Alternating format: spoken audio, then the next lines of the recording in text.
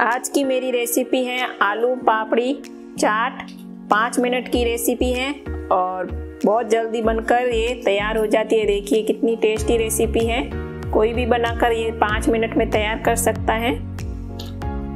स्वाद के किचन में आप सबका स्वागत है।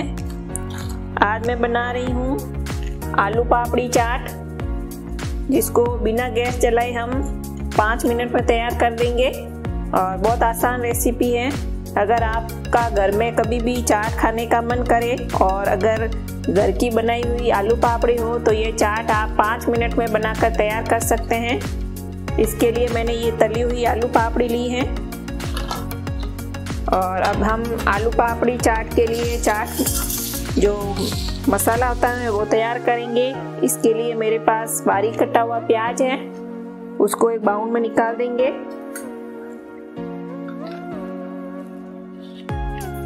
और ये है बारीक कटा हुआ टमाटर।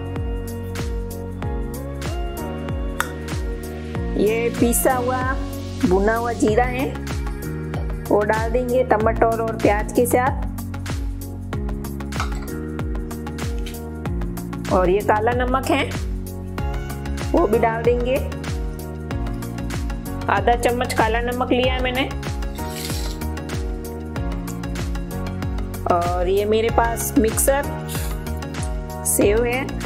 और ये बीकाजी नमकीन। ये भी डाल देंगे, आधी डाल रही हूँ। और आधी ये डाल देंगे हम नमकीन मिक्सर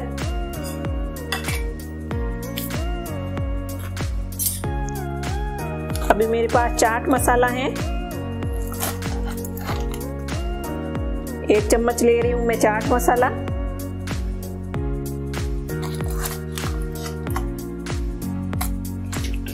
अभी लास्ट में मैं ले रही हूँ नींबू, आधा नींबू है। इसको हम इसके ऊपर डाल देंगे।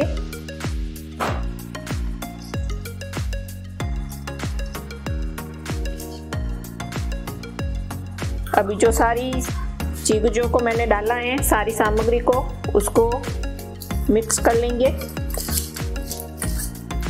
जो ये पापड़ी है मेरे पास, इसके ऊपर जो ये चाट मसाला मैंने तैयार किया है, वो एक एक पापड़ी लेकर, उसके ऊपर एक एक चम्मच डालकर, इसको तैयार करेंगे हम पपड़ी चाट। अब हम इसके ऊपर थोड़ी सी और नमकीन डाल देंगे।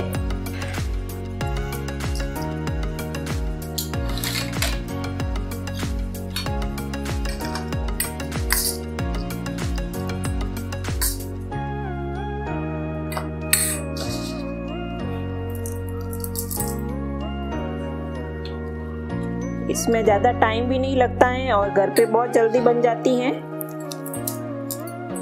अगर कभी बच्चों का चटपटा खाने का मन करे तो ये आप पाँच मिनट में तैयार कर सकते हैं।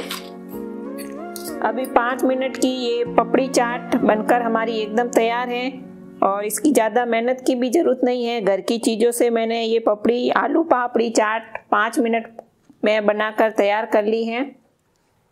ये देखिए और खाने में भी ये बहुत टेस्टी होती हैं। ज़्यादा मेहनत की ज़रूरत नहीं पड़ती है। इसी तरह मेरी नई नई रेसिपी देखने के लिए हमारे चैनल को सब्सक्राइब करें वीडियो को लाइक और शेयर ज़रूर करें।